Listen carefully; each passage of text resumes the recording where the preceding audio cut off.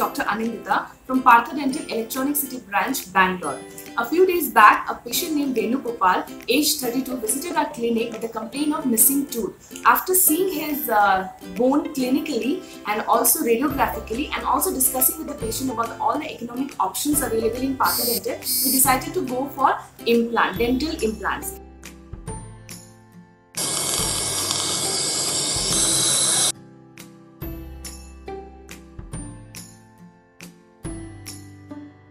And the patient was really shocked to see that how uh, easy and how economic dental implants are in Partha.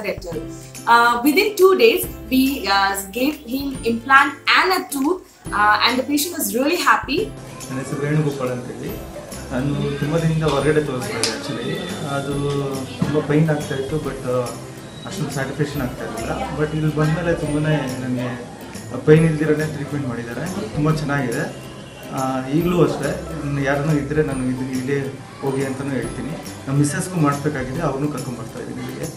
ನೋಡೋಣ ಹೇಗಿದೆ ಯಾವ ಥರ ಇರುತ್ತೆ ಅಂತೇಳಿ ಅವ್ರಿಗೂ ಎಕ್ಸ್ಪೀರಿಯೆನ್ಸು ನನಗೂ, ನನಗಂತೂ ತುಂಬ ಚೆನ್ನಾಗಾಗಿದೆ. ಅಂತ ಡೆಂಟಲ್ ಕ್ಲಿನಿಕ್ಗೆ ತುಂಬ thanks The surgery was done by doctor Malti and the prosthesis was done by doctor Zeba. Thank you.